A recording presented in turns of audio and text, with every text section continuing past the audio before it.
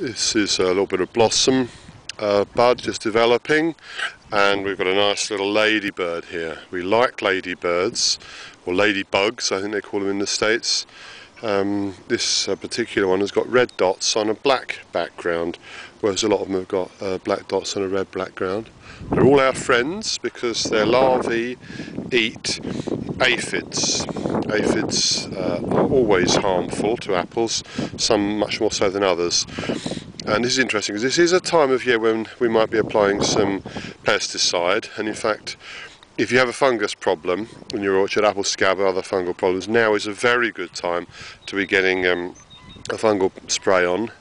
Uh, I may not give uh, advice on um, pesticide application because of the severity of uh, regulations about this, uh, but I can say that uh, you know, it's reasonable to make an assessment of what kind of pests and diseases hit you hardest in your orchard and to make a realistic plan about what action you can take about that.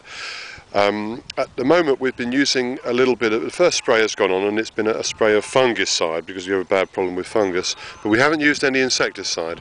Um, we want to favour the development of beneficial uh, insects, including ladybirds.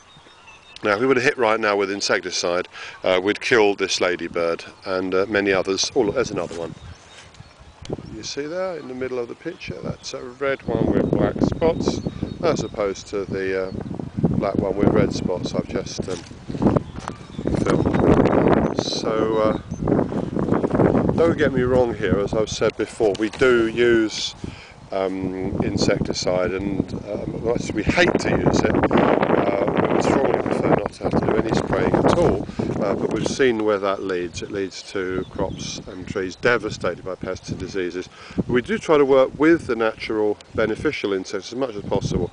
And as you can see, I've just been able to demonstrate uh, here on the 12th of April two uh, beneficial um, insects. One uh, ladybird uh, one red and black ladybird and here's a black and red ladybird. We wish them both well and uh, oh goodness me here's another. So that's three. Three ladybirds.